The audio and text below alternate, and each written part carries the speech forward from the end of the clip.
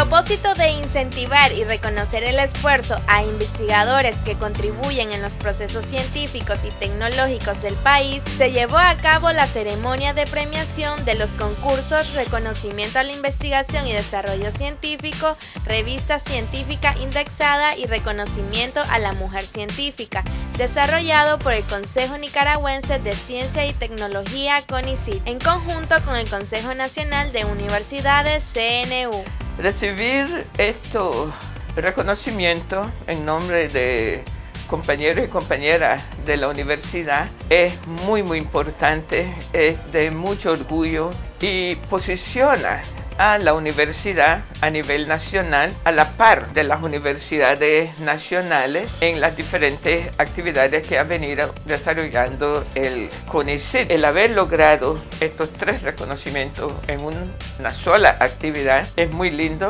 Una vez más felicito a los compañeros y compañeras y como huracán nos, nos comprometemos a continuar en este proceso investigativo, en este camino. Aquí estamos con la lógica de que Nicaragua vaya en la ruta del desarrollo humano, el desarrollo social formativo, del conocimiento, como se viene desarrollando eh, con este tipo de, de hombres y mujeres que participan a diario en lo que es el desarrollo de la ciencia, la innovación, los emprendimientos y la parte tecnológica. En dicho evento se confirmó el modelo excepcional de la Huracán, pues fue galardonada con tres importantes premios en la categoría de reconocimiento al logro científico, junior científico y el reconocimiento al segundo lugar a la mejor revista indexada. Que no tengan miedo, de que le den con todo, de, que apunten a la cultura de innovación que nos dice la universidad siempre apuntando, innovando, para que en un futuro puedan, esas ideas puedan realizarse y que ayuden al desarrollo. Para Huracán es fenomenal, ¿verdad?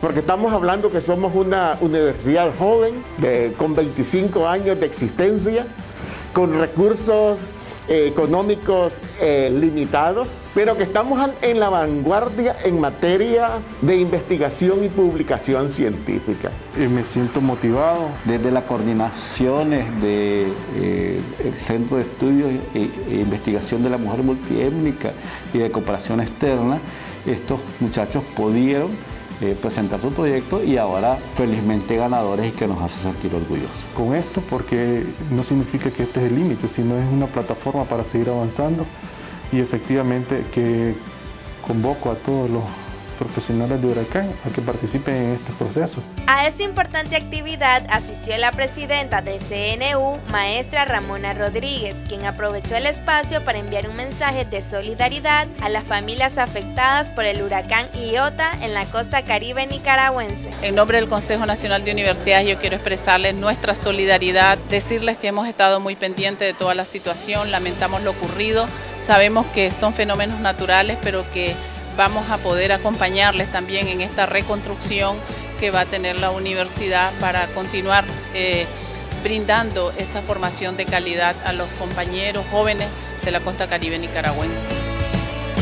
Para Huracán, Dara Contreras. Huracán, la primera universidad comunitaria intercultural en América Latina.